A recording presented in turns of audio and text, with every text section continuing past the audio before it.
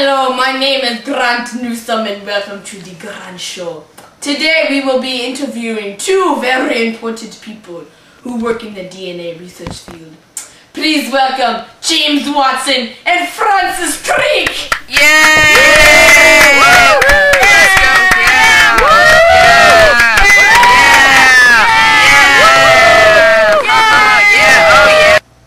Hello, Mr. Watson and Mr. Crick. How are you doing today?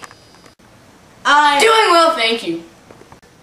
Good, good. Well, recently we have heard much about the DNA research you have been doing. Could you elaborate? Well, oh yes, uh, we constructed a model of DNA based on several published theories in science magazines. now what could a model do to show you how something that complex works? I mean, you can't just study an animal behavior with some child's toy. You see, Scientists compared the theories of the complexion of DNA to our model.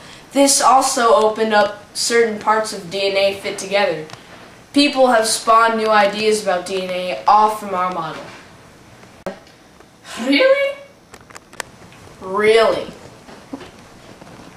Wow.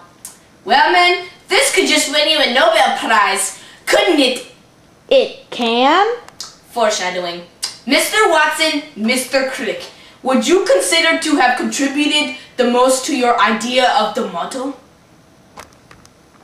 I think. we should we would like to thank Mrs. Rosalind Franklin for helping us to really picture what DNA looks like. There are a few others, but Miss Franklin really helped us out. I see. Now, what are you going to do with that model of yours? It's like We're going to give it to a university lab so more studies can be done. Good, good. Sorry guys, we are just about out of time. Thanks for coming out. We'll see you next week. Thanks. Thank you too.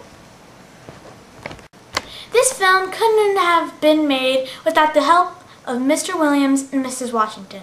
Thank you.